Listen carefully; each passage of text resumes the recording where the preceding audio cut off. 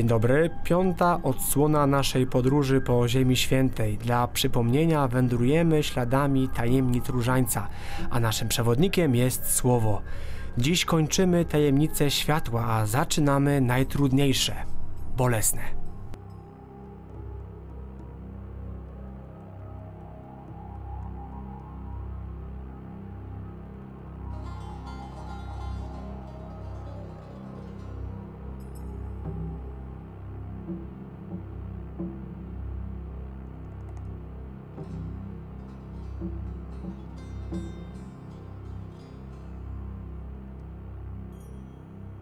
Tajemnica piąta światła, ustanowienie Eucharystii. Tutaj wieczernik, jak wiele tutaj się działo. Y, Tutaj Pan Jezus e, spotykał się z uczniami, tutaj spożywali, no właśnie, ostatnią wieczerzę, tutaj następnie im się pojawił po zmartwychwstaniu, wreszcie tutaj zesłał im Ducha e, Świętego, Ducha Pocieszyciela. Natomiast, no właśnie, jeśli chodzi o tą tajemnicę światła, to może zajrzyjmy do naszego e, przewodnika, dokładnie z Ewangelii Świętego Łukasza, rozdział 22.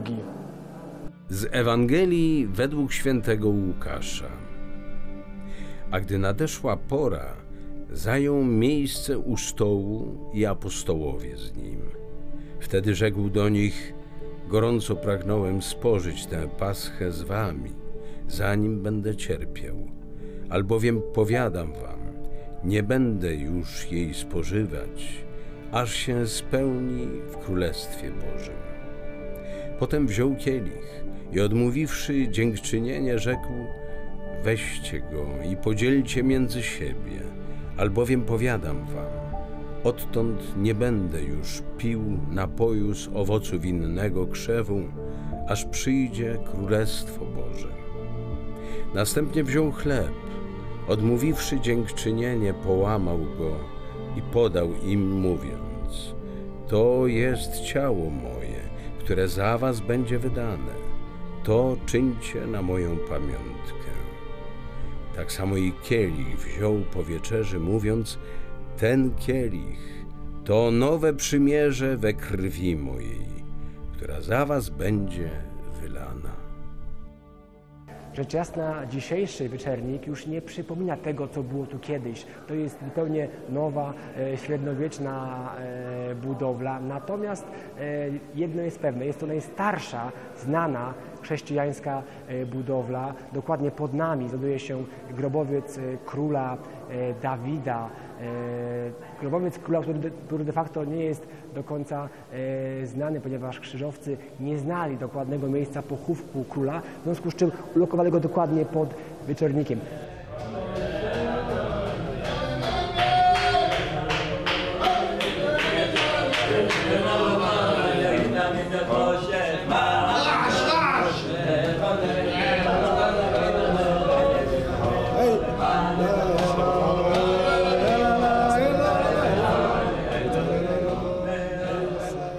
Natomiast ciekawostką jest to, że współcześnie w miejscu, gdzie została ustanowiona Najświętsza Eucharystia, nie możemy sprawować kultu.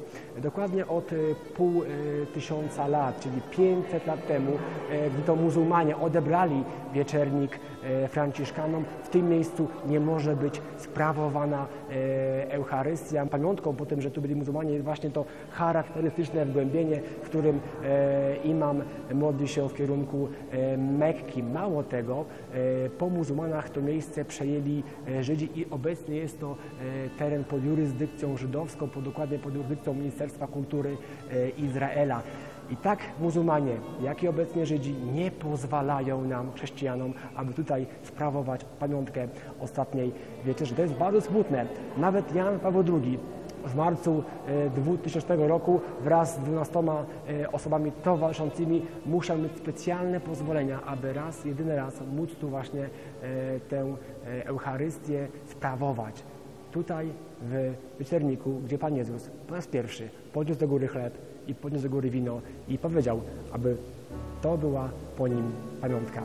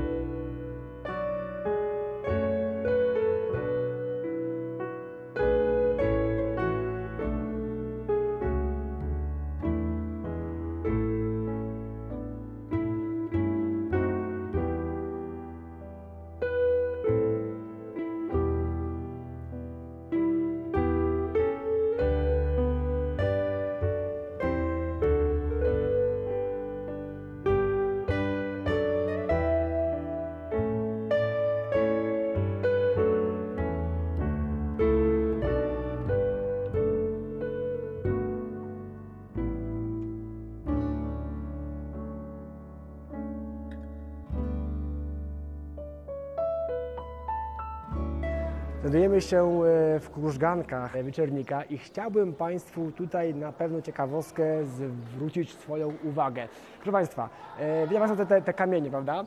One w większości są dokładnie dopasowane do siebie, natomiast mają pewien szczegół. Otóż są w, wielu miejscach pourywane, mają połomowane kąty. E, No właśnie, cóż to może być? E, Przecież reszta ściany jest bardzo ładna i bardzo wyraźna. Te podstawowe kamienie są jakby z innego miejsca, jakby ktoś je w trakcie transportu upuścił. Stąd te właśnie ułamane fragmenty, ułamane kąty, ułamane e, boczne ściany tych kamieniów. A przecież kto buduje nową świątynię, kto wznosi nową świątynię na bazie idealnie dopasowanych kamieni, ale jednak z ułamanymi e, kątami. No właśnie, ojciec Bargil, e, jako że tu mieszkał, miał czas, aby tym się dokładnie zająć. Obszedł wzgórze świątynne wokół byłej świątyni króla Salomona i faktycznie pomierzył długość i szerokość tychże właśnie kamieni, które tam leżały. Okazało się, proszę Państwa, że są dokładnie takiej samej wielkości jak właśnie te kamienie z powzgórza świątynnego. Co nam to mówi? Że prawdopodobnie ktoś te kamienie znosił, kiedy świątynia została zrujnowana, zburzona.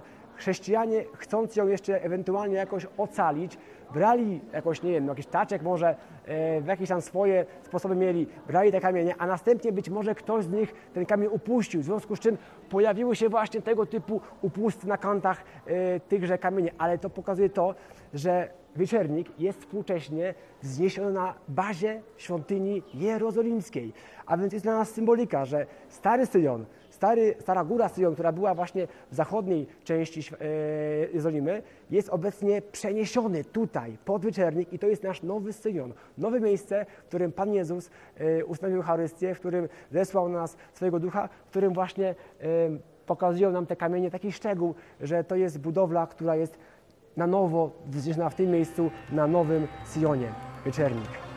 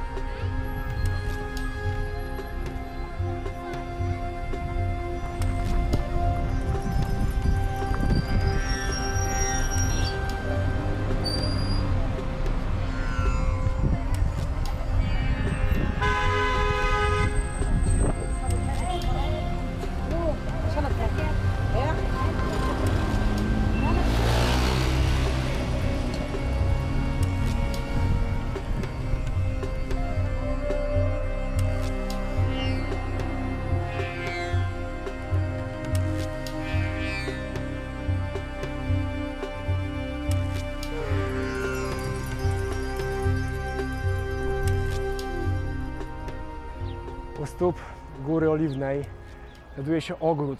Właściwie dzisiaj ogród to troszkę za wiele powiedziane. Kilkanaście drzew, bardzo starych. E, Ich korzenie praktycznie e, rzeczywiście mogą pamiętać e, czasy Pana Jezusa, ponieważ ogród po Jego śmierci został spalony, w związku z czym te korzenie głęboko siedzące w ziemi, one jeszcze być może pamiętają te czasy, natomiast to, co widzimy, to już są bardziej współczesne drzewa. Tutaj modlił się. Tutaj jego pot przybrał postać kropel krwi. W tym miejscu, w Getsemani, Pan Jezus raz jeszcze zawołał do Boga, że jest to możliwe, aby oddalił od Niego ten kielich, który ma wypić. Z Ewangelii według świętego Łukasza. Potem wyszedł i udał się według zwyczaju na górę oliwną. Towarzyszyli mu także uczniowie. Gdy przyszedł na miejsce, rzekł do nich: Módlcie się, abyście nie ulegli pokusie. A sam oddalił się od nich na odległość około rzutu kamieniem, padł na kolana i modlił się tymi słowami: Ojcze, jeśli chcesz, zabierz ode mnie ten kielich, wszakże nie moja wola, lecz Twoja niech się stanie. Wtedy ukazał mu się anioł z nieba i pokrzepiał go. Pogrążony w udręce, jeszcze usilniej się modlił, a jego pot był jak gęste krople krwi, sączące się na ziemię. Gdy wstał od modlitwy i przyszedł do uczniów, zastał ich śpiących ze smutku. Rzekł do nich: Czemu śpicie? Wstańcie i módlcie się, abyście nie ulegli pokusie. No właśnie, Getsemani, Getsemane na polski tłumacząc to słowo oznacza ni mniej, ni więcej, tylko tyle co ogród e, tłocznia oliwek. E, I faktycznie e, to miejsce e, można by taką tłocznię e, uznać. Tutaj się modlił, ale kto zna e, topografię góry Oliwnej, ten wie, że tak naprawdę skoro Jezus, jak wiemy, mieszkał wraz z apostołami e, w jaskini e, Eleona, skoro mieszkał w Betanii, to jest właściwie na wzgórzu, na wierzchołku e, Góry Oliwnej, to skoro tam mieszkał, to po co schodził tutaj daleko, daleko w dół, aby się modlić w tymże ogrodzie. No właśnie, możemy podejrzewać, że prawdopodobnie na okazję Paschy do świętego miasta podążało mnóstwo, mnóstwo pielgrzymów i większość miejsc, większość domów była po prostu zajęta.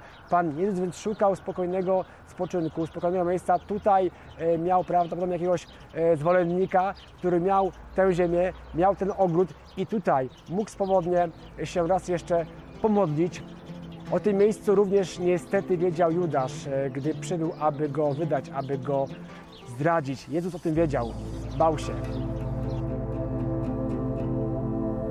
Música